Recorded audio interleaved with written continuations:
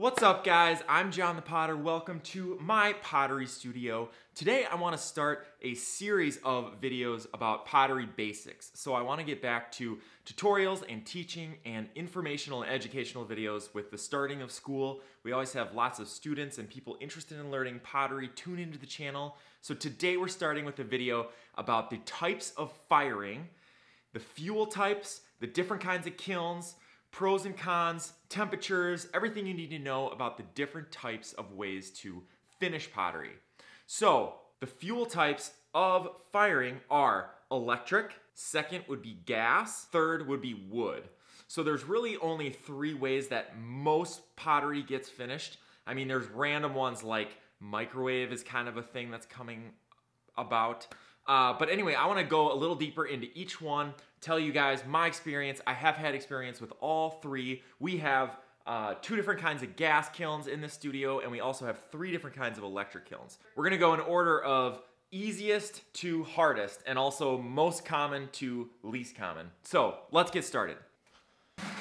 Okay, this is my kiln room where I have my three electric kilns. So these are all three Skutt kilns. This is a Skutt 1027, this is a 1218, and then this is an 818.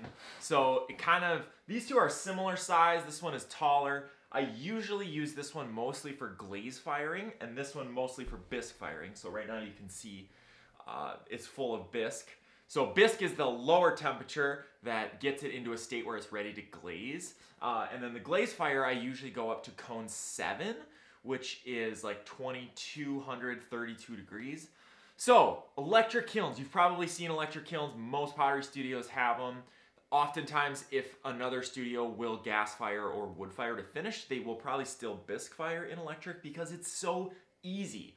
So that is the one of the biggest advantages to electric kilns is they're super simple. Uh, once you get the, they are powered by 220 or 240 volts, so you do have to have an electrician come wire it. You can't just grab a kiln and plug it in. I mean, there might be some that you can, but most of the time you need an electrician to wire it for you, which can be fairly expensive. But once you get it set up, it is simple and easy. Uh, you push a button or you start it and you come back and it's finished. It's also definitely the least expensive and easiest to get into. Uh, setting up gas kilns or setting up wood kilns is very, very involved. But with electric kilns, you are, it's very predictable, right? The atmosphere in there is gonna be an oxidation atmosphere. Uh, so there will be oxygen present. You don't have the same ability to control if there's oxygen in there, if there's not oxygen in there. So the results are going to be pretty standard. I would say 80% of the pottery that you see, maybe more than that, I don't know, uh, is electric fired. And that is because it can be set up pretty relatively inexpensively and cheaply. It is easy to fire.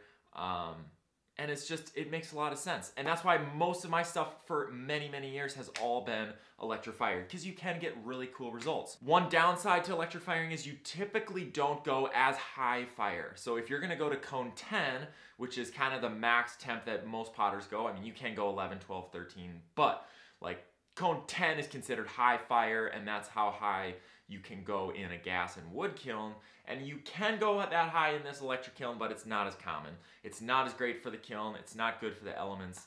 Um, and typically you just don't see it. So electric kilns are great for you know, schools, educational, studio potters, if you're making lots of pots, uh, if you want to get into pottery, you're probably going to start with electric. It makes a lot of sense for bisquing. Skutt is one brand of electric kilns that I have really liked a lot. Obviously, I have three Skutt kilns in my studio. There's tons of different styles. The other thing is about the automatic version. Like these have a touch screen, and so they're really automatic. There is a type of electric kiln that I used to have as well, which is a cone sitter. So you put a cone inside, and when the cone melts, it shuts off. And so that's a little bit more manual. You know, you turn on the elements as you ramp up. Um, most of the ones they sell, I don't even think Skutt sells those cone sitters anymore, so that would be off a used. Prices for a electric kiln can range. If you can find a used one, you can probably get it for as low as 200, 300, 400 bucks. Uh, but then if you go up to a brand new one, it's gonna be 2,000, 3,000, 4,000, that kind of range. So anywhere from 200 to 4,000 is gonna be the range of prices for electric kilns. Okay, let's go talk about the next one, which is gas kilns. Okay, so this is our brand new gas kiln. This has only been fired here at this studio three times. It is a Cooper Works CW8, so that means it's eight cubic feet. Uh, if we open it up, I'll show you what it looks like on the inside. So gas kilns are obviously powered by, they're fueled by gas. So this kiln is hooked up to our liquid propane tank, like our 500 gallon tank that also feeds our house. And then there's two burners. So there's a burner there and a burner there that just fire propane. So you light a pilot light, and then when you turn on the burners, it just fires in there. And so obviously this kiln is a draft kiln, so it has a chimney that goes out the roof. So a couple things that make it a little more complicated. You know, we had to build this shed for this gas kiln. Uh, we had to have the gas run to the kiln so that we can fire with the gas. We had to build a chimney up out of it. Uh, and then every time we fire it, we are checking it constantly to see how much oxygen is in there. We There's a damper in the back from the chimney, so you're controlling how much air is being let in there. There's just a lot of little nuanced things with gas kilns, and they all fire a little differently. They're not as predictable, uh, and then you are kind of involved in the firing process. This kiln was $5,000. It was used, right? This kiln brand new would probably be seven, eight, nine. And this is definitely on the lower end because this is a small gas kiln. So typically gas kiln, this is as small as I could find as a gas kiln. Normally you would see ones that are bigger, that fit, you know, 10 cubic feet or 12 cubic feet. Advantages to the gas kiln are gonna be we can get up hotter to cone 10 pretty easily. Uh, we have the, the ability to do reduction firing, which means that we limit the amount of oxygen that is in the kiln, and that does interesting different things to the results of the clay and the glazes. So it can turn the clay different colors, it can turn the glazes different colors, and so it's a very different type of style and a different look that you can't really get when you fire an electric kiln. When you do it in a gas kiln, you can get that reduction firing. Uh, there's also lots of different types of gas kilns, right? Like we also have a raku kiln uh, that we fire with gas. And so the gas is a common type of fuel to use because it's so versatile. You know, all you need is gas and a lighter and you start that torch or burner or whatever it is and then you're pumping heat in as fast as possible. Um, so whereas the electric is fired with coils, so the coils heat up and then you're basically relying on just a super insulated box that gets hot over time because the coils.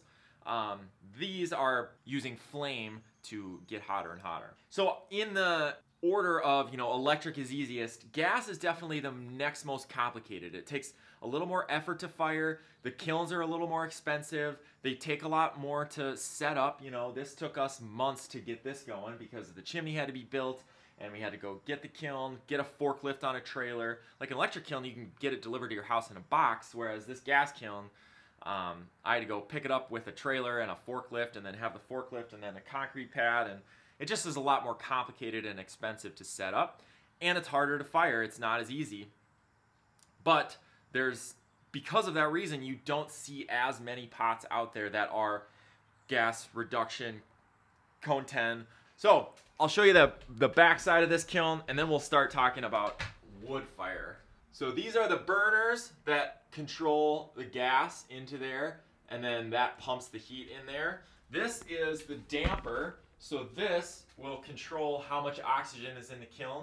And we have a couple different ways that we measure the temperature. So this is a pyrometer. So that is telling us what the temperature is inside the kiln. This is an oxyprobe. So the oxyprobe measures how much oxygen is in the kiln at any given time. So if we're in a reduction atmosphere, this is gonna read like 750 to 800, uh, whereas if it's an oxidation, it's gonna read somewhere lower than that. The other thing about the gas is we are always using cones in here, which you are supposed to use cones in electric kilns too. So this is how we measure the temperature inside the gas kiln. Uh, we have a cone 6, 9, 10, 11, and you can see they're all pretty much down there, so that was a hot one. So this kiln, all every kiln fires, every gas kiln fires a little differently. Even electric kilns fire a little differently. But this one fires hot on the bottom and a little cooler on top. So that's what we've been working on so far since we've been firing is trying to get it really even so that we can uh, get the same temperature on the bottom and on the top so that we know what's happening on all of them. So this right here is our Raku kiln. And so this kiln is made to fire up really quickly. So this is all fiber blanket, which is another type of insulating material. You know, you saw the bricks in the gas kiln and the bricks in the electric kiln, but this is fiber blanket. And what it does is it doesn't, you can open this kiln up when it's at 1800 degrees or when it's really hot and take the pots out. So this kiln hinges open and we take pots out when they're at their hottest. So we fire it up with gas uh, and so you can do lots of different types of kilns with gas. You know, soda firing, that's where you put soda in the kiln, baking soda, and then that fires on the pots, or salt firing. There's just tons of different types of firing, but it's all using gas to heat it up. Uh, I forgot to talk about the pricing of gas kilns. So just like the electric kiln, there's a pretty wide range. You're probably not going to be able to buy a gas kiln for less than a few thousand bucks. Uh, and you can get super fancy gas kilns for like 50,000, right? Okay, so the last type of firing that we're gonna talk about is wood firing. And I have wood fired a few times. It is crazy. So typically, you know, it is actually what I'm saying. You are using pieces of wood to get to 2400 degrees in a kiln. So there's lots of different types of wood kilns and they are very difficult to create, right? It might be very expensive, it might be really big, you might have a lot, it might be very involved, it might take years to make. Um, and just like anything, there's a huge wide range. You can make a small, inexpensive wood kiln and you can also make a hundred thousand or probably a $200,000 giant kiln. So typically wood fire kilns are not just one potter. I mean, I'm just making generalizations here, but a lot of wood kilns are built so that you have four or five different people working because when you're wood firing, you are involved literally every 10 minutes that needs to be stoked for sometimes days, you know, four or five days. A wood fire kiln has a firebox, you know, where you're loading the wood kiln in, and then it has the chamber where all the pots are, and then it has the chimney. So you're basically putting the wood fire in there and then it draws all that heat through the kiln and up out the chimney and you're just loading it until you keep getting uh, results. So there's lots of different types of wood kilns too. I mean, there's salt and soda, just like you can do for gas. But typically wood firing will take, you know, minimum 36 to 48 hours where you need to be stoking it every 10 to 15 minutes. So a lot of times they'll fit four or 500 pots and you have a lot of different potters that have pots in it and then everybody kind of helps out. So those are the wood, fires that I've been a part of is where, you know, I'm helping out, I'm helping to cut the wood, and then I'm also being there for a shift, you know, eight hour shift where you're loading it in. So obviously wood firing is the least common. Uh, there's probably only a handful of wood fire kilns in the state of Minnesota. Uh, not that many people do it because it's really difficult, it's hard, it's expensive, but the results are really, really cool. And obviously wood firing has been around for thousands and thousands of years. That's all, how pottery used to get fired before there was electricity or before there was, you know, gas. So it's really like a primitive, it's very, very fun. Uh, it's You're super involved in the process and the results can be super varied and very cool. You get lots of wood ash things happening. You get a cool reduction atmosphere happening. You can, you know, blow salt into it and then the salt creates a really cool glaze. It's a super fun thing to be a part of. If you ever get a chance, I would definitely recommend it. Uh, my long-term goal, you know, is to have all the possibilities here at this studio. So we have the our electric kilns, obviously. Now we have our gas kiln. We have our raku kiln. You know, I'd love to build a soda kiln, like a gas-fired soda kiln. Uh, and then at some point, I would also like to have a wood fire kiln that gets fired, you know, possibly twice a year. We invite people um, so that's the, the goal for us. And then wood fire kilns, you know, you could probably build one for a couple thousand, uh, but then most of them that are really well done are going to be in the 40 to 50 to 60,000 range if you if you make a larger size ones. Um, so if you're interested in this, there's tons more information on the internet. Just search like wood fire kilns, Anagama kilns, you know, gas fired, soda fired. The kilns and the firing process are an art in itself, right? The pots and the glazing is one thing, but then when you get to the actual firing and how you finish the pottery, it's an art by itself. So, hey, thank you guys for watching this video. Leave me a comment below. What did I miss? Is there another type of firing? You know, I didn't talk about microwave. I know people have been experimenting with microwaving uh, pottery and trying to get that to work out because that would be pretty simple. Uh, I don't know how what the state of that is, but I'd be interested to know. So leave me a comment below. What do you think? How do you fire? What did I miss? Thank you guys for watching. See ya in the next video.